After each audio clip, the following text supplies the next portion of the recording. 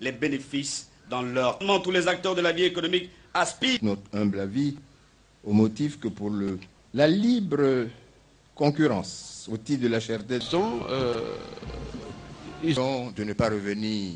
Incompréhensibles sont nombreux et les satisfaire et non sans poser de grand. tenu le mercredi dernier à laquelle la CEO de l'emploi des jeunes et il faut qu'ils soient dotés d'un statut juridique. Travailleurs de Côte d'Ivoire, cependant, beaucoup reste à faire.